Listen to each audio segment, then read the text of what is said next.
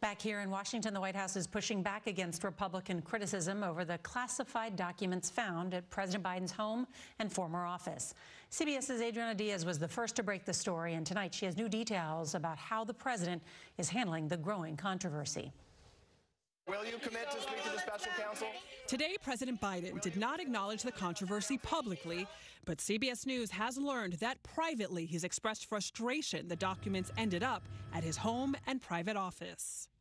The White House has been criticized for not being more forthcoming. The first documents were discovered on November 2nd, but the White House didn't acknowledge that until last week after being asked by CBS News. And since then, the White House has said even more documents had been found at another location.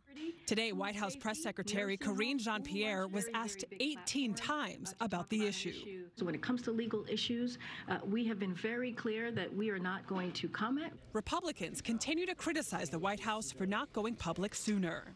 Prior to an election, they kept it secret.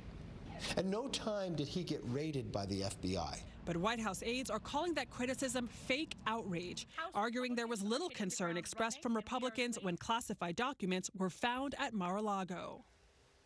And Norah, we have learned tonight that special counsel Robert Hur is expected to begin his investigation into President Biden's classified documents within the next two weeks. Adriana Diaz, thank you very much.